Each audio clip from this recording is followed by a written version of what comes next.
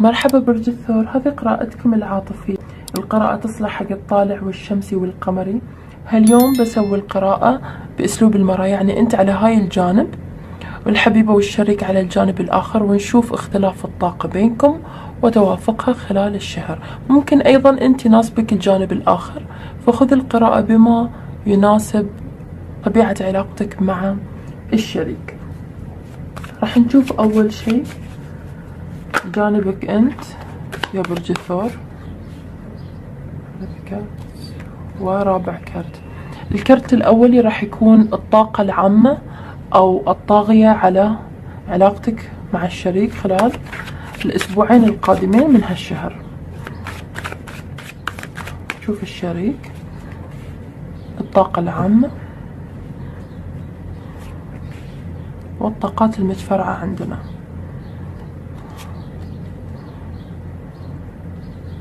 نشوف هنا برج الثور أول كرت عندك الإمبراطورة. مقبل على فترة نعم مادية أكثر من العادة وفترة راحة. فترة رخاء. وكأنما قاعد تتباهى بالرخاء أمام الشريك وأمام اللي حولك. أوكي. برج الثور أشوفك هني عندك طاقة الإمبراطورة وهي آه، طاقة برج الميزان. الشريك أو الحبيب عنده طاقة أيضا برج هوائي وهو الجوزاء هني. تشوف ما بين الكرتين. أشوف أن طاقتك جدا راح تكون منسجمة مع الشريك الفترة القادمة أو خلال الأسبوعين القادمين. أنت راح تمتلك إذا كنت بانتظار أموال أو بانتظار مثلا ورث أو دفعة مالية راح أنت تملكها أكثر من الشريك في الفترة القادمة أو على الأقل راح تملك أو يعطيك الشريك لأنه يحبك لأن عندنا كرت العاشقين هني. راح يعطيك التحكم المالي المطلق والثقة التامة فيك. راح يقول لك أنا أثق فيك تحكم أنت بأمور المنزل أو يعطيك الأموال مثل الأمانة عندك.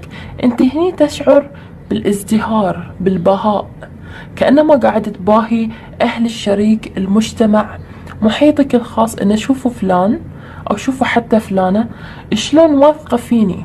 درجة الثقة العمياء هني بما أن العاشقين ممسكين بعض وهم غمضين عينهم.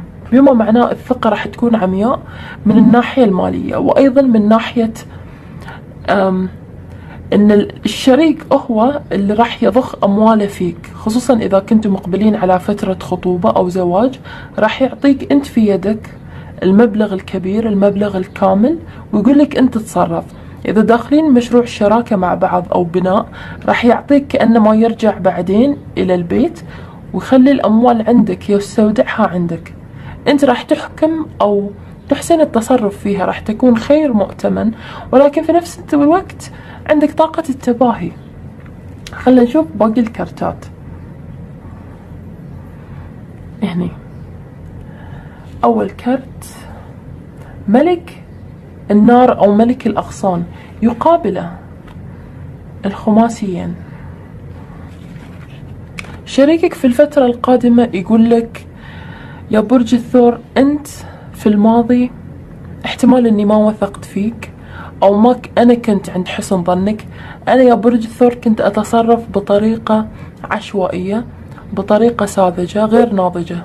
طاقة المراهقين عندنا هني. إنزين ما كنت أتصرف أو أحسن التصرف. ولكني أثق الحين أن أنت يا برج الثور اللي لازم تضع الخطط لنا.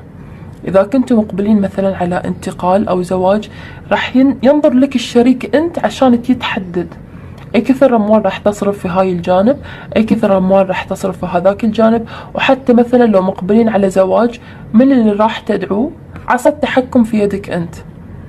كانما يقول لك أنت تفصل وأنا ألبس أنت تخيط وأنا ألبس. واثق في حق في حكمك. عندك طاقة ملك طاقة النضوج طاقة أثبت نفسك. مو فقط للشريك يا برج الثور. أنت أثبت نفسك على المدى الطويل لأن هذه هي طبيعتك الترابية. ولكن كأنما هني إثبات النفس راح ينتقل إلى آه، من طبيعة ترابية إلى طبيعة نارية. النار هي طاقة الأفعال طاقة الأوامر المباشرة طاقة أني أنا أنظر إلى مصلحتي أو مصلحة علاقتنا قبل أي شيء ثاني. والشريك أيضا راح يكون متجاوب معاك بشكل جدا جميل في الفترة القادمة لأن أنت هني أشوفك اللي تتحكم.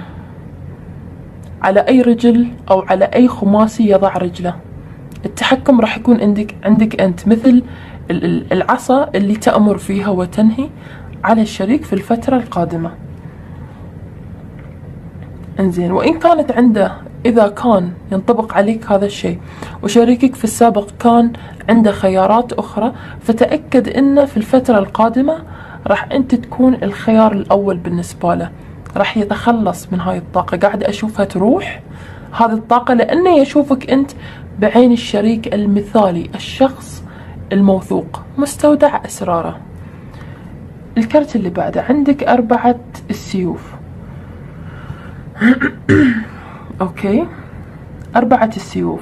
لحد الآن عندك مخاوف. عندك نوع من المخاوف لأن السلطة أو القوة قاعدة تتحول تجاهك مرة واحدة. تعرف لما يقول لك إحنا ما نخاف من الفشل كثر ما نخاف من النجاح نخاف أن نستيقظ يوم من الأيام كل ما نحلم فيه تحقق عندنا.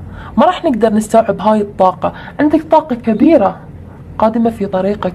من القراءات السابقة ترى ابتديت أشوفها تجاه برج الثور قادمة في الطريق. طاقة الإمبراطورة الرخاء المطلق الأموال مع الزرع مع الازدهار مع الأبناء كل شيء خصوصا إذا كنت تحاول أيضا أنت والشريك في الإنجاب.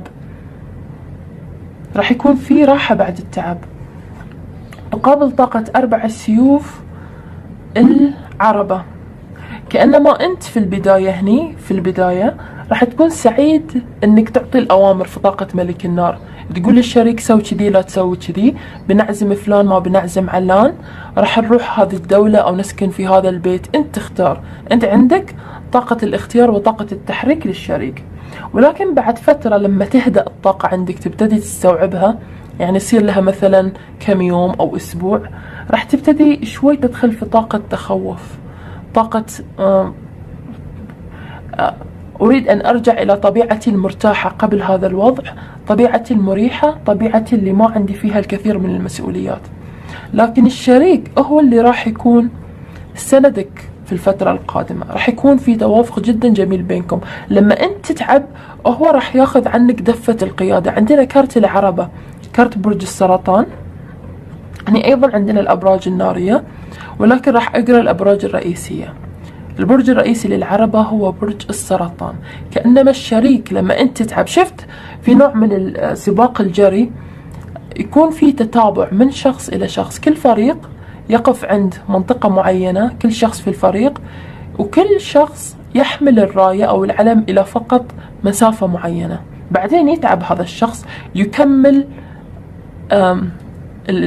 شخص من الفريق عنا المشوار. راح تكون كذي طاقتك مع الشريك في الفترة القادمة خصوصا إذا كان فيها انتقال سواء انتقال إلى مدينة انتقال في عمل انتقال من العزوبية إلى الزواج انتقال إلى مرحلة دراسية جديدة. راح يكون الشريك جدا متوافق معاك وتعجبني طاقته لأنه مو أثنينكم تحاولون تتحكمون في نفس الوقت لا.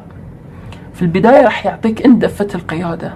لما أنت تحس الموضوع صار وايد عليك أو تعبت هو اللي راح يمسك بلجام الأمور والتحكم وياخذ المسؤولية عقبك. جميل هذا أحب طاقة سباق التتبع اللي بينكم. نشوف آخر كارت. خمس الخماسيات. خمس الخماسيات. حبك في مساعدة حبك لمساعدة الآخرين يا برج الثور في الفترة القادمة احتمال سيمثل لك نقطة ضعف شوية. لأن أنت قاعد تصعد مع الشريك أو تدخلون على مرحلة جديدة فما تقدر في هذا الوقت في نفس المرحلة تتحكم بزمام الأمور في حياتك أيضا تساعد المحتاجين أو تساعد أحد من الأهل والأصدقاء اللي يطلبون مثلا وقتك أموالك يطلبون, اهتمامك لمشروع معين مثلا. ملك الأكواب. شركك سيكون متفهم ولكن شوف لما يكون عند ملك الأكواب معناته صح. أنت لك الحكم في الأمور المالية في الفترة المقبلة وشريكك سيساندك ويثق في حكمك ويسمح لك حتى باتخاذ القرار. ولكن لما يأتي الموضوع إلى نصيحته مو معناته إن أنت عندك التحكم ان ما تسمع ترى نصيحة الشريك. عندنا طاقة الأبراج المائية هني. إنزين. آه قلت لك هني السرطان ممكن أيضا يكون حوت أو عقرب.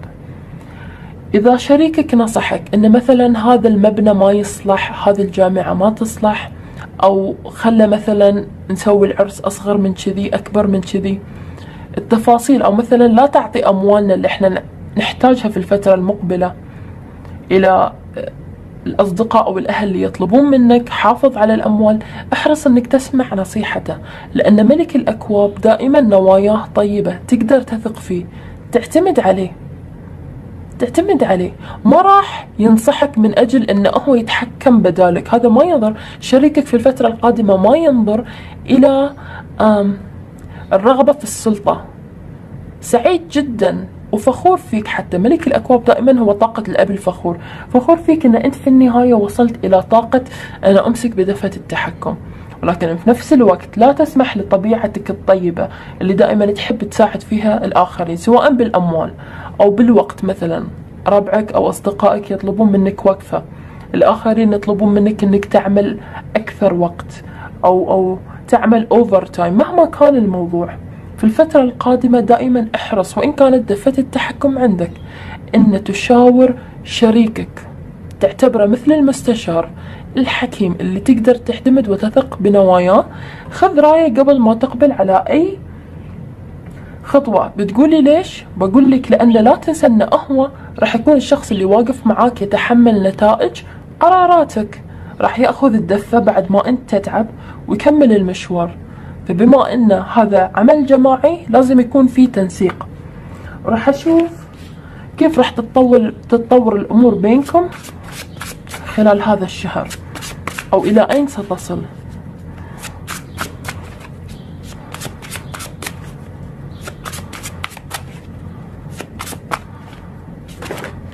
أوكي.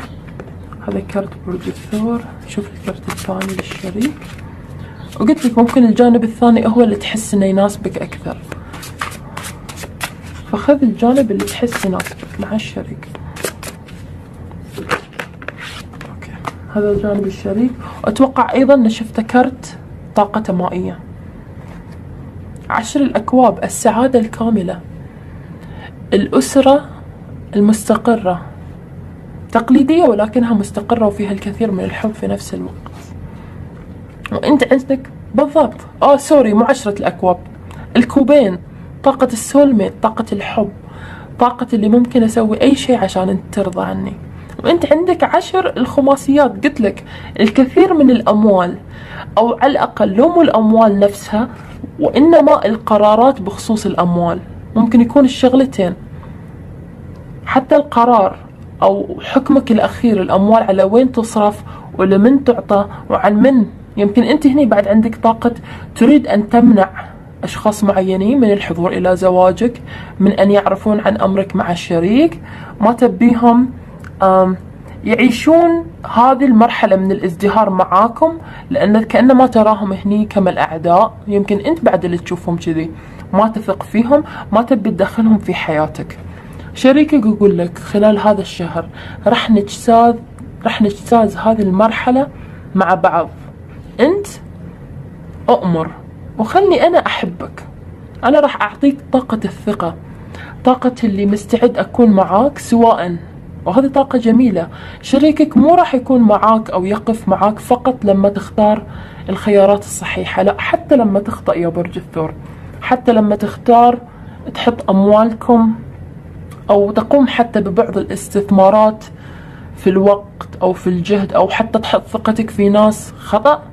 بعد سيوقف معك بعد ما راح يتخلى عنك طاقة السولميت أو توأم الروح. أوكي؟ وعشر الخماسيات طاقة الأسرة مجتمعين مثل ما تشوف هني الأسرة العائلة الأهل السعادة الكاملة. عشر الخماسيات هي مرحلة نصل فيها مع بعض مو جهد فردي. وأيضا لما نصل إلى هذا الكمال لأن أعلى رقم في التارو هو عشرة نقدر نتباهى. قلت لك من البداية عندك طاقة التباهي الإمبراطورة طاقة أنا أملك كل شيء الزوج الأموال السعادة. وإن كنت الحين تحس أنه ما ملكت كل شيء تأكد أن معنى هذه القراءة أن هذا الشخص أوكي؟